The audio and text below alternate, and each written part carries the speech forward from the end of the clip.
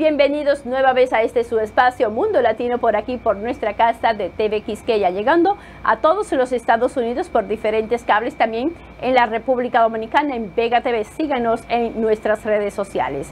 Tecnoline, ayúdenos a crecer en Mundo News, Canal 1. Fresa Torres, con ustedes y conmigo, un equipo de periodistas que ya está listo para llevarle las últimas informaciones que son noticia en casi todo el mundo. Bueno, ustedes saben que está afectando grandemente tanto en Puerto Rico como en la República Dominicana el huracán Fiona que ha dejado mucho destrozo, puentes caídos, eh, falta de alumbrado, además eh, muchas casas inundadas, eh, pérdidas millonarias hasta el momento tanto en la República Dominicana como en Puerto Rico. Esto también afectó los vuelos que estuvieron varados muchas personas desde anoche en los diferentes eh, aeropuertos, no solamente de aquí, de los Estados Unidos, sino de cualquier parte del mundo que iban a viajar hacia la República Dominicana, también a Puerto Rico. Estos detalles vamos a compartirlo con ustedes más adelante. En Reinos Unidos, finalmente, en el día de hoy, pues eh, recibe cristiana sepultura la reina Isabel II después de gobernar este país. Estos y otros temas vamos a tratarlo con ustedes en el día de hoy, así que por favor no se nos muevan. Bienvenidos a Mundo Latino con Fresa Torres. De inmediato nosotros vamos a darle inicio a nuestro programa en el día de hoy, pues con la noticia que está dándole la vuelta al mundo sobre el huracán Fiona que está afectando a la República Dominicana y también en el día de hoy afectó grandemente a Puerto Rico, donde allí pues el tendido eléctrico, eh, mucho desplazado, inundaciones, derrumbe de puente, pues eh, fue el resultado hasta el momento de todo el daño que ha causado este huracán. Justamente en la República Dominicana el COE ha hablado de que más de 787 personas pues están siendo desplazadas desde sus hogares. En este momento, en la República Dominicana, a causa del huracán Fiona de categoría 1 que tocó tierra esta madrugada en el este de la República Dominicana. Un informe preliminar del Centro de Operaciones de Emergencias COE indica que Fiona ha causado daños a 54 viviendas, principalmente en el este y el noroeste, eh, las zonas más afectadas por el fenómeno que se desplazó hoy por territorio dominicano en alerta en su totalidad que justamente está la República Dominicana. Además, el COE ha dicho que 11.554 clientes no tienen energía eléctrica. Fiona, el primer huracán que entra a la República Dominicana desde el potente huracán Iván en el 2004, sigue causando fuertes lluvias, vientos en todo el país, donde se registran inundaciones, derribos de árboles y de postes del tendido eléctrico. El ciclón tocó tierra por Cabo San Rafael, al este de la República Dominicana, y se ubica a unos 25 kilómetros al suroeste de Punta Cana, con lluvias moderadas, fuertes eh, en algunas ocasiones y vientos máximos sostenidos de 150 kilómetros por hora, con ráfagas superiores según la Oficina Nacional de Meteorología. De acuerdo con lo pronóstico, también las lluvias acumuladas oscilan entre 100 a 300 eh, milímetros, aunque puede ser superior debido a que todavía pues se está, eh, según las autoridades, están pues eh, haciendo el resumen de todo lo que ha sucedido en la República Dominicana. Lo que sí, también antes de llegar eh, Fiona a la República Dominicana, pues causó grandes daños en Puerto Rico y justamente el gobernador de la isla pues ya ha dado eh, los datos preliminares, como dice él en la rueda de prensa, todavía pues no se puede levantar eh, unas cifras oficiales del daño que Fiona ha causado en Puerto Rico. Vamos a pasar inmediato con nuestro centro de prensa allí, que ya nos tienen los detalles de los daños que hasta el momento pues ha causado el paso de Fiona por la isla del encanto. Señor director. El huracán Fiona dejó daños catastróficos en Puerto Rico. El gobernador Pedro Pierluisi reportó graves daños materiales en varias zonas, con caídas de árboles y tendido eléctrico, deslizamientos de terreno, derrumbes y obstrucciones en las carreteras. Lo importante es el restablecimiento de ese servicio eléctrico y del servicio de agua potable eh, a la mayor brevedad posible, tan pronto eh, esta, tormenta ya no nos esté impactando eh, directamente. El lunes, Fiona tocó tierra en República Dominicana, que suspendió la jornada laboral y declaró en alerta roja a más de un tercio de sus provincias. El huracán es de categoría 1, la más baja de las 5 en la escala de Saffir-Simpson, pero el Centro Nacional de Huracanes de Estados Unidos espera que se fortalezca aún más en las próximas 48 horas. Fiona ya causó graves daños a su paso por Guadalupe el viernes por la noche. En algunos lugares el agua subió a más de un metro y medio en ese territorio francés, donde un hombre murió arrastrado con su casa por la crecida de un río. Bueno, lo que las autoridades tanto, tanto de la isla de Puerto Rico como de la República Dominicana pues llaman a la población es a estar atento a los boletines, a no exponer a sus familias, pues también cuiden a sus mascotas, eh, sobre todo los animales eh, que siempre están pues en los hogares como los perros, los gatos entre otros eh, animales que la gente siempre tiene en sus hogares. Es una situación muy delicada lo que están viviendo la población tanto en la República Dominicana como en Puerto Rico. Ojalá, ojalá y que este clima que tanto daño ya ha, causado en nuestro país, en la República Dominicana, eh, pues eh, nuestras autoridades puedan acudir rápidamente a la población en auxilio y sobre todo de estas personas que siempre están vulnerables cada vez que hay dos gotas de agua en la República Dominicana o que cae dos gotas de agua en la República Dominicana igual, igual sucede en Puerto Rico. Entonces que nuestras autoridades y, sobre todo que se busque una solución eh, a largo plazo sobre estas personas, estas zonas que viven siempre siendo los más afectados y los vulnerables cada vez que hay eh, un fenómeno de esta naturaleza. Nosotros aquí continuaremos llevándoles las últimas informaciones que salgan tanto de Puerto Rico, de las autoridades de Puerto Rico, como de la República Dominicana sobre los daños que ha causado Fiona, eh, un huracán que llegó a Puerto Rico en categoría 2 igual en la República Dominicana, pero que con el paso pues se ha ha perdido eh, su fuerza. Continuamos con más de este su espacio Mundo Latino por aquí, por nuestra casa de TV Quisqueya, llegando a todos los Estados Unidos por diferentes cables, también en la República Dominicana a través de Vega TV. Síganos en nuestras redes sociales, ayúdenos a crecer, denlo like a Mundo News Canal 1. Fresa Torres con ustedes y conmigo, como siempre hemos dicho, un equipo formidable de periodistas y técnicos que hacen posible que día a día estemos en sus hogares a esta hora. No se nos muevan, en breve retornamos entonces con el funeral de la reina Isabel que finalmente pues hoy recibe cristiana sepultura. Hi, I'm Ashwin Vasan, the city's doctor. And I'm New York City Schools Chancellor David Banks.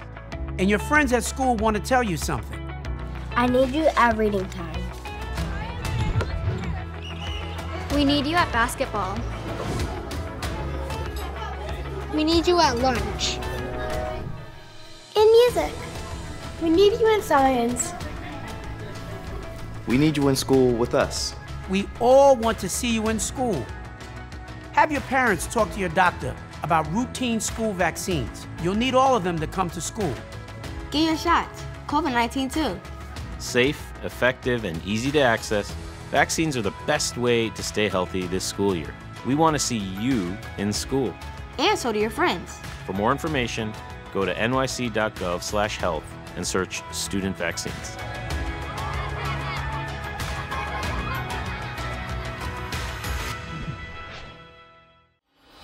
El presidente Luis Abinader vuelve a la ONU para hablarle al mundo. Telenoticias y TV Quisqueya estarán allí para informar en vivo todo el acontecer en el marco de las sesiones de la Asamblea General con Roberto Cavada y su equipo de periodistas, Crisa Lady Made y Julisa Montilla, en vivo desde New York. 77 Asamblea General de las Naciones Unidas, del 15 al 23 de septiembre. Cobertura especial desde New York. TV Quisqueya, el canal de los dominicanos. Hoy entregamos directamente 365 títulos ya a nombre de los beneficiarios finales que impactarán positivamente en igual número de familias. Hoy todos ustedes conquistan un derecho que por siempre fue suyo, pero que nadie les había reconocido.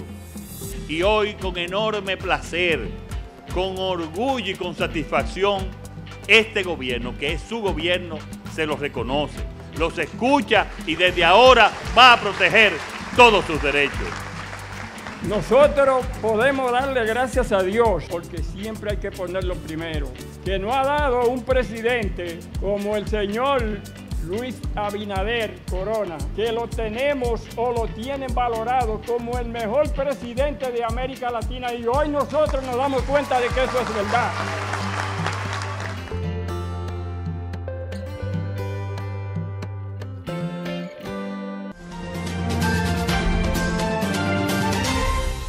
Continuamos, continuamos con más de este su espacio Mundo Latino por aquí, por nuestra casa de TV Quisqueya, llegando a todos los Estados Unidos por diferentes cables, también en la República Dominicana en Vega TV. Síguenos en nuestras redes sociales, suscríbanse a nuestro canal, denle like a Mundo News Canal 1. Bueno, acaba de suceder eh, un intercambio de prisioneros entre Estados Unidos y los talibanes. Han cambiado a dos prisioneros que hace más de dos años que estaban eh, detenidos en, cárceles tanto de aquí, de los Estados Unidos, como de los talibanes. Los talibanes entregaron este lunes a los Estados Unidos un veterano de la Marina estadounidense detenido desde hace más de dos años a cambio de la liberación de un miembro clave del régimen talibán.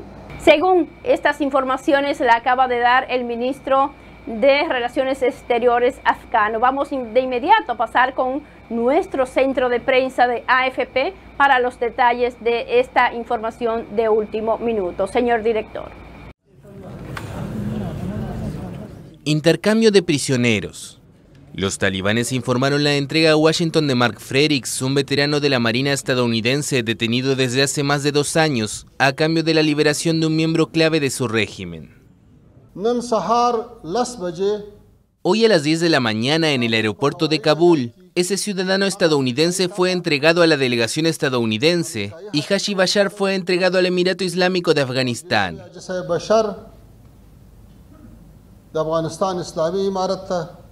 Según el Departamento de Estado estadounidense, el veterano de la Marina trabajaba en Afganistán como ingeniero civil en proyectos de construcción cuando fue secuestrado. El presidente de Estados Unidos, Joe Biden, confirmó el lunes su liberación y agregó que las negociaciones requirieron decisiones difíciles.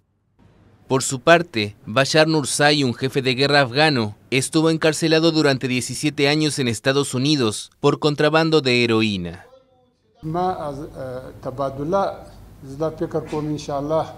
Mi intercambio será una fuente de paz entre Afganistán y los estadounidenses, porque un estadounidense también fue liberado, y yo también fui liberado por los esfuerzos del Emirato Islámico y mis hermanos mujahidines.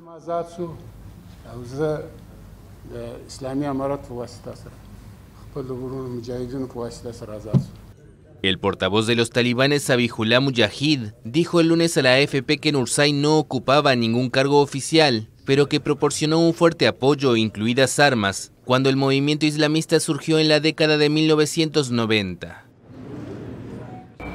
De inmediato nosotros vamos a conectar con nuestro equipo de prensa de AFP que ya está listo para llevarnos a nosotros y a ustedes las últimas incidencias de lo que está sucediendo en Reino Unido con el funeral de la reina Isabel II, que justamente en el día de hoy pues recibirá cristiana sepultura con la presencia de diferentes dignatarios de todo el mundo. Que esto justamente también choca que muchos dignatarios y ministros no pudieron asistir porque coincide con la Asamblea General de las Naciones Unidas que se está desarrollando aquí en la ciudad de Nueva York. De inmediato vamos a pasar allí entonces con nuestro equipo de prensa de AFP porque está listo ya para darnos las informaciones de estos últimos detalles del el funeral y del entierro de la reina Isabel II, después de 70 años de su reinado. Señor director.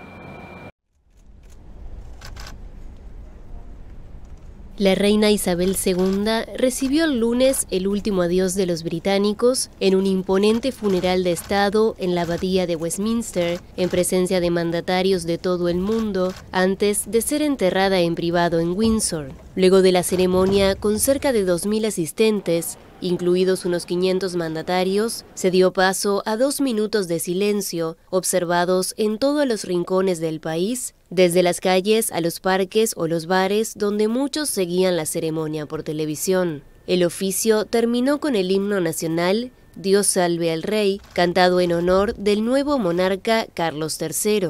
Este siguió después, acompañado por sus hermanos e hijos, la salida del féretro de la abadía, llevado por ocho portadores y cubierto con el estandarte real, la corona imperial, el cetro y el orbe, símbolos de la reina. El ataúd fue cargado sobre un carro de la Royal Navy que tirado por decenas de marinos y acompañado por militares de tres regimientos cercanos a la monarca, emprendió una larga procesión por el centro de Londres hasta el arco de Wellington en Hyde Park tras un traslado en coche fúnebre hasta Windsor, localidad unos 40 kilómetros al oeste de la capital donde se encuentra el célebre castillo, el oficio fúnebre y la sepultura de Isabel II se debían llevar a cabo en privado en la capilla de San Jorge.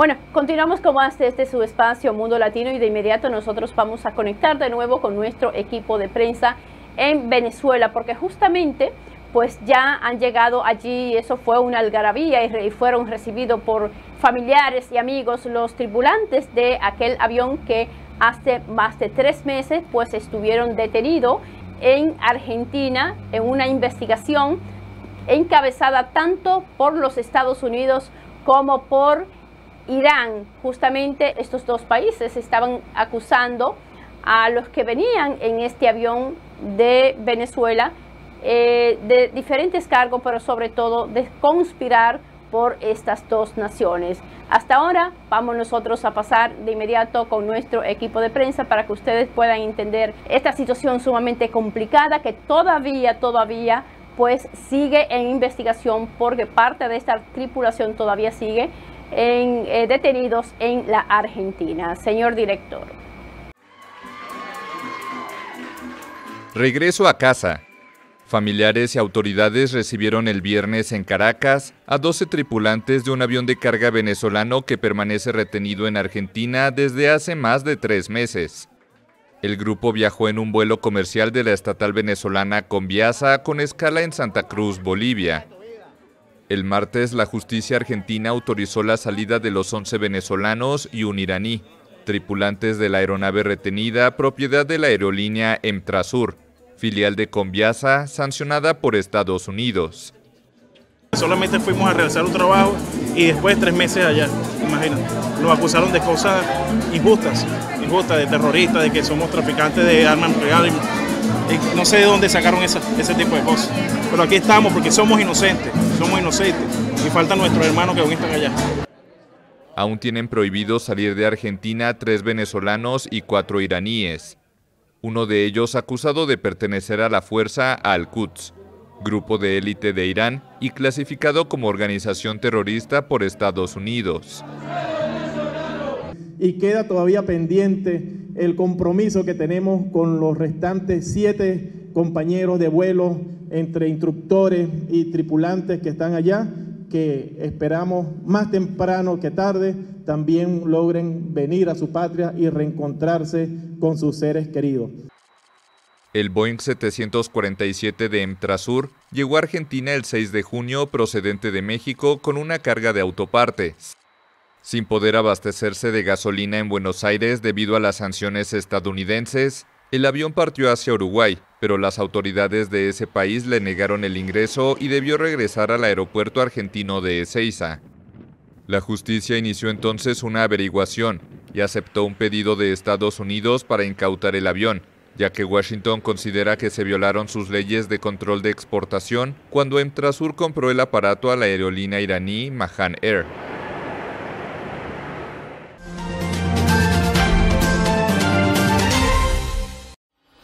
El presidente Luis Abinader vuelve a la ONU para hablarle al mundo. Telenoticias y TV Quisqueya estarán allí para informar en vivo todo el acontecer en el marco de las sesiones de la Asamblea General con Roberto Cavada y su equipo de periodistas, Cris Lady Made y Julisa Montilla, en vivo desde New York. 77 Asamblea General de las Naciones Unidas, del 15 al 23 de septiembre. Cobertura especial desde New York. TV Quisqueya, el canal de los dominicanos. Hoy entregamos directamente 365 títulos ya a nombre de los beneficiarios finales que impactarán positivamente en igual número de familias. Hoy todos ustedes conquistan un derecho que por siempre fue suyo, pero que nadie les había reconocido. Y hoy con enorme placer, con orgullo y con satisfacción, este gobierno, que es su gobierno, se los reconoce, los escucha y desde ahora va a proteger todos sus derechos. Nosotros podemos darle gracias a Dios, porque siempre hay que ponerlo primero, que no ha dado un presidente como el señor Luis Abinader Corona, que lo tenemos o lo tienen valorado como el mejor presidente de América Latina y hoy nosotros nos damos cuenta de que eso es verdad.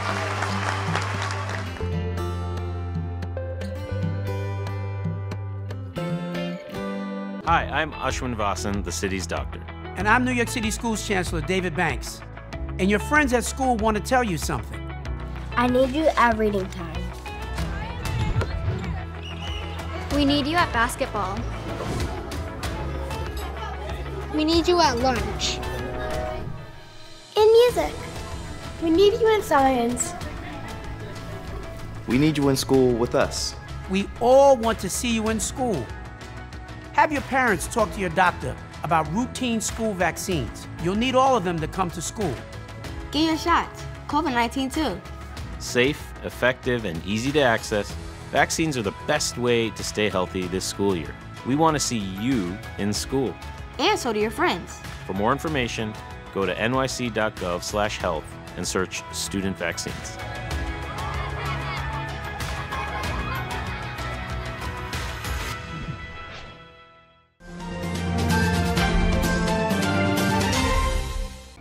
Nosotros vamos a terminar el programa en el día de hoy con algo muy importante sobre el festival, el festival de cerveza que eh, es una tradición en Alemania. Y justamente este fin de semana comenzó este festival hasta el día 3 de octubre, que es cuando termina, donde pues esto mueve la economía de este país, que justamente este festival de Múnich, que ustedes saben que es emblemático y sumamente famoso en todo el mundo, pues fue eh, detenido hace dos años por el COVID, el COVID-19 que afectó a todo el mundo. De esta forma nosotros hemos llegado al final de este su espacio Mundo Latino por aquí, por nuestra casa de TV Quisqueya, llegando a todos los Estados Unidos por diferentes cables también en la República Dominicana, en Vega TV. Síguenos en nuestras redes sociales. Suscríbanse, dennos like. Y así los dejamos en el día de hoy con este reportaje desde Alemania.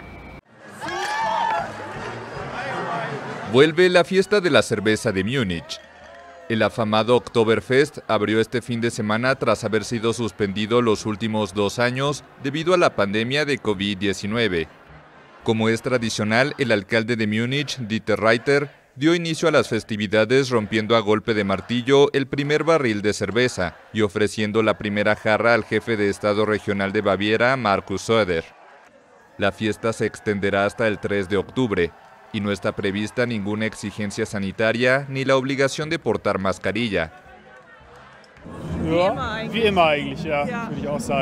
Como siempre, la verdad no recuerdo bien. El último fue en 2019. El clima tampoco era muy bueno, pero aún así en general es muy agradable, como siempre. La anulación del Oktoberfest en 2020 fue la primera desde la Segunda Guerra Mundial. En 1854 y 1873 no se celebró debido a epidemias de cólera. En tiempos normales, el evento congrega a más de 5 millones de personas y genera en total unos 1.200 millones de dólares. Es increíble, es mejor de lo que pensé. Todo, la música, el ambiente, todo es una locura. No lo esperaba, superó por mucho mis expectativas. Previo al inicio del festival, la Federación Alemana de Cerveceros alertó al gobierno sobre las dificultades del sector. La invasión de Ucrania ha disparado los precios de las materias primas y de la energía y forzado a muchas cervecerías a elevar el precio de la bebida.